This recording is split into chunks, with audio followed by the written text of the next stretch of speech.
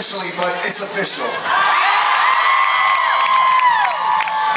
And after the next season of Blue Bloods, I fully expect to see all of you on this boat. And I fully expect to see all of you in certain wonderful places around the world with N K O T B S.